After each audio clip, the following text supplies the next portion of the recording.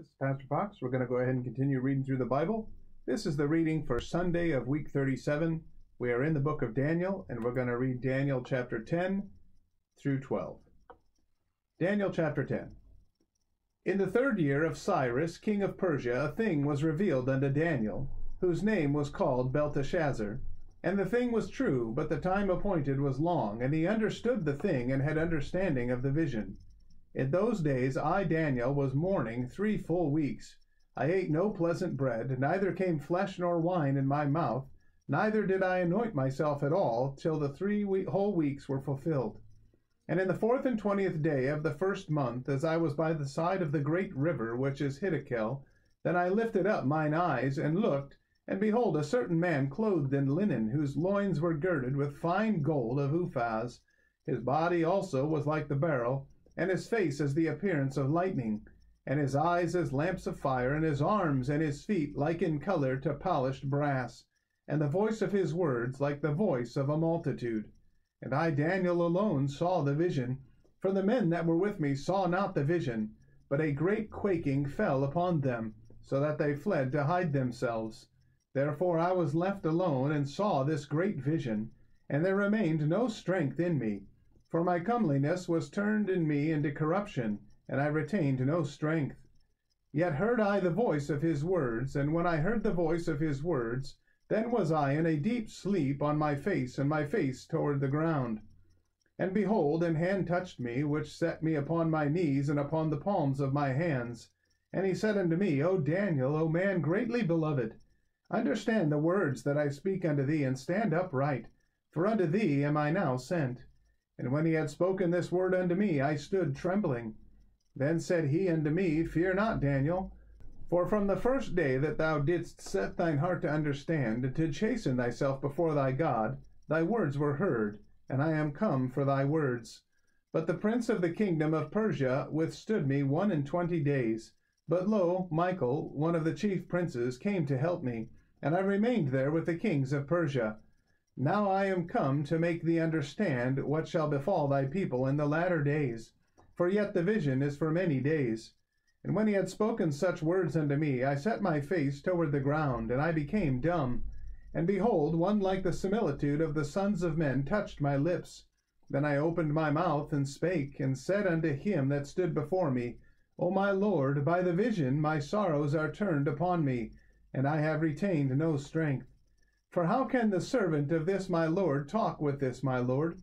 For as for me, straightway there remained no strength in me, neither is there breath left in me.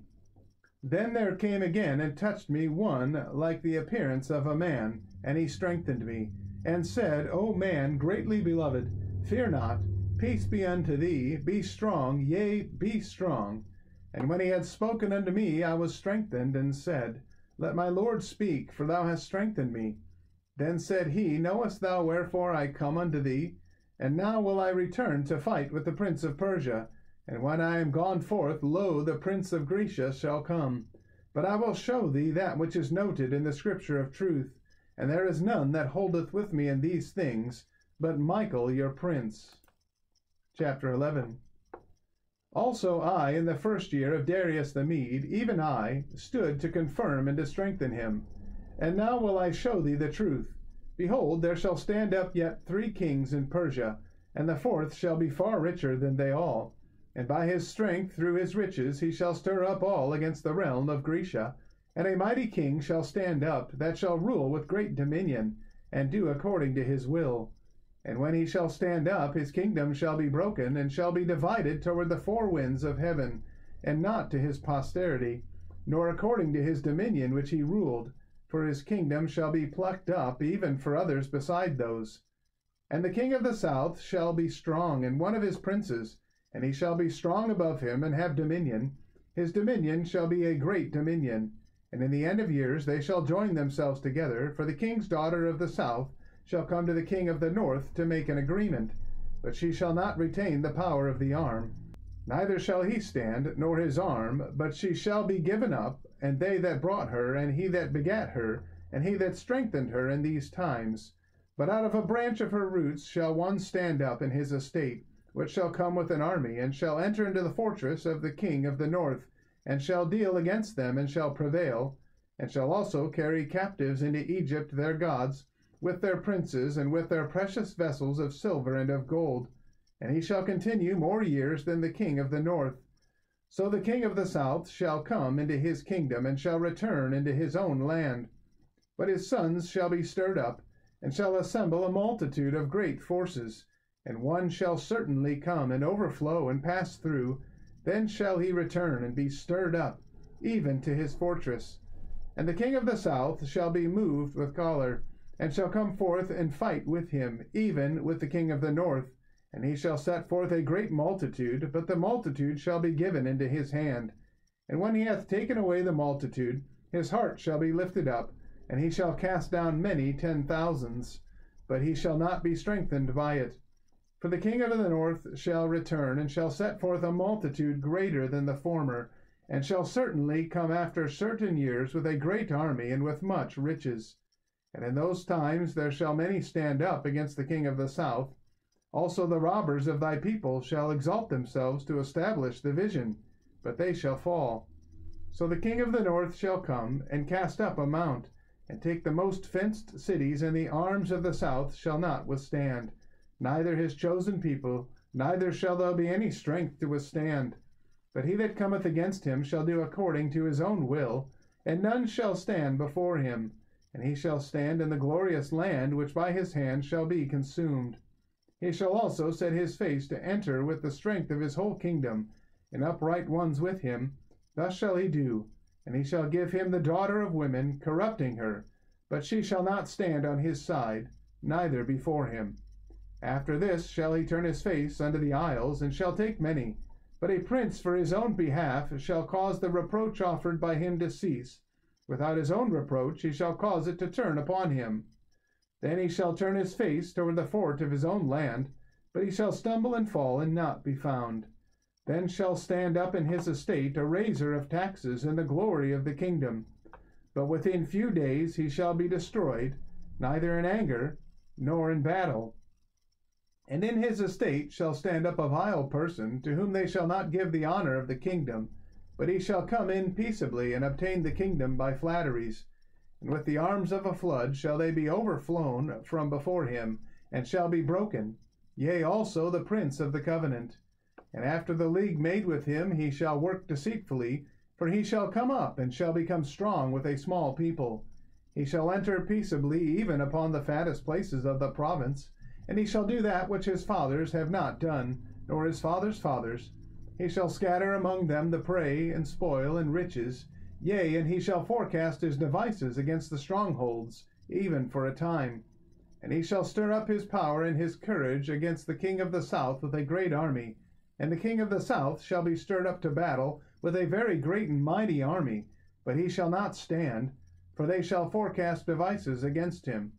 Yea, they that feed of the portion of his meat shall destroy him, and his army shall overflow, and many shall fall down slain. And both these kings' hearts shall be to do mischief, and they shall speak lies at one table, but it shall not prosper, for yet the end shall be at the time appointed. Then shall he return into his land with great riches, and his heart shall be against the holy covenant, and he shall do exploits, and return to his own land. At the time appointed he shall return, and come toward the south, but it shall not be as the former, or as the latter. For the ships of Chittim shall come against him. Therefore he shall be grieved, and return, and have indignation against the holy covenant. So shall he do. He shall even return, and have intelligence with them that forsake the holy covenant. And arms shall stand on his part, and they shall pollute the sanctuary of strength, and shall take away the daily sacrifice. And they shall place the abomination that maketh desolate and such as do wickedly against the covenant shall he corrupt by flatteries. But the people that do know their God shall be strong, and do exploits. And they that understand among the people shall instruct many. Yet they shall fall by the sword, and by flame, by captivity, and by spoil, many days. Now when they shall fall, they shall be holpen with a little help. But many shall cleave to them with flatteries. And some of them of understanding shall fall, to try them, and to purge, and to make them white, even to the time of the end, because it is yet for a time appointed. And the king shall do according to his will, and he shall exalt himself and magnify himself above every god, and shall speak marvelous things against the God of gods, and shall prosper till the indignation be accomplished. For that that is determined shall be done. Neither shall he regard the God of his fathers, nor the desire of women, nor regard any God, for he shall magnify himself above all. But in his estate shall he honor the God of forces and a God whom his fathers knew not shall he honor with gold and silver, and with precious stones and pleasant things. Thus shall he do in the most strongholds with a strange God, whom he shall acknowledge and increase with glory. And he shall cause them to rule over many, and shall divide the land for gain.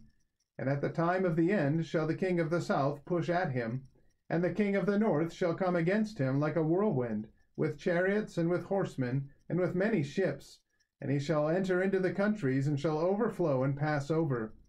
He shall enter also into the glorious land, and many countries shall be overthrown.